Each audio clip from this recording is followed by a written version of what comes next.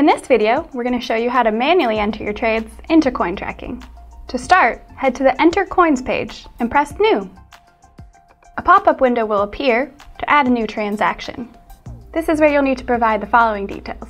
Type of transaction, the date and time it occurred, details of the coin purchase, and the price and currency paid.